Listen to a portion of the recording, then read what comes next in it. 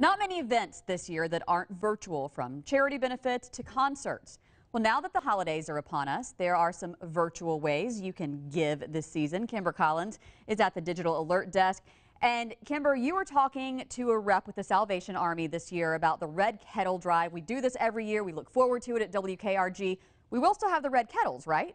Hey, cheers. Yes, there will still be some red kettles out and about there. They're just not going to be as many as we're used to.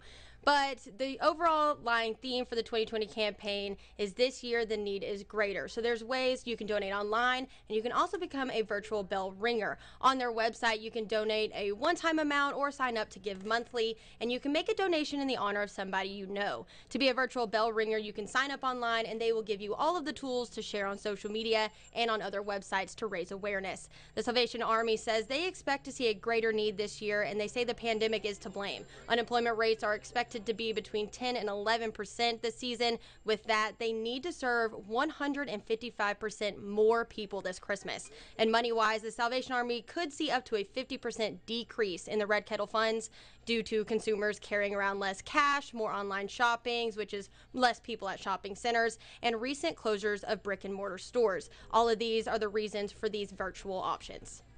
The Red Kettle Pay is the Salvation Army's way to donate to the Red Kettle electronically. You will see a little sticker in the left-hand corner of any red kettle stand. You can tap your phone on the Google Pay or the Apple Pay, and it will take you directly to the Salvation Army website where you can make a donation of any level and any amount uh, to be able to help those in crisis in our community.